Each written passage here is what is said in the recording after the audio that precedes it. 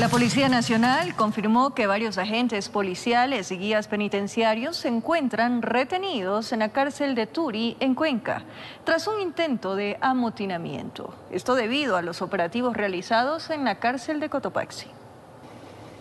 Desde las primeras horas de la mañana, todos los sectores que están junto al Centro de Privación de Libertad Turi de la capital Azuaya fueron cerrados. Nadie pudo acercarse a este lugar debido a la presencia militar, misma que obedeció a evitar cualquier problema en la cárcel. Eh, nosotros hemos activado el protocolo de evacuación, aislamiento, contención, que al momento está en una fase de contención. Hay pasos que hay que cumplir, como son eh, una un contacto con, las personas para que, están al interior y después se decidirá los pasos siguientes. Los PPL se mantuvieron casi todo el día en los espacios abiertos, patios, terrazas e inclusive en la más próxima a la puerta de ingreso al centro penitenciario.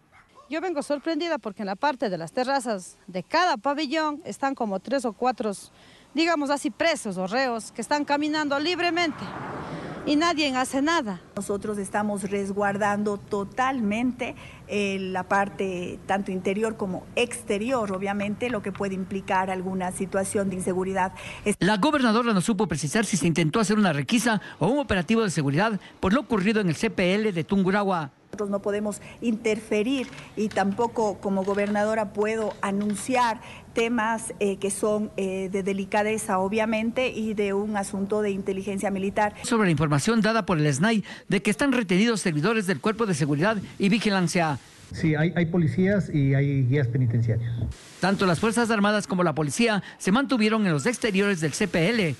Desde la ciudad de Cuenca, informó.